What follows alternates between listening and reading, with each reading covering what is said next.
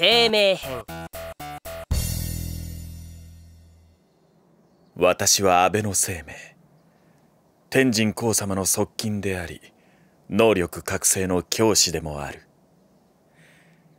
とても優しい私は皇様への特訓を今一つ厳しくできず甘い指導になり悩んでいる。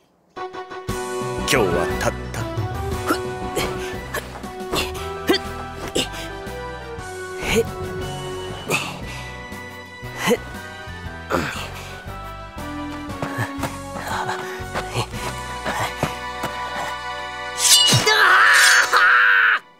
のみのスケジュールああ本当に自分の心優しさに困惑本気で言ってんなら一度脳みそ検査してもらってこい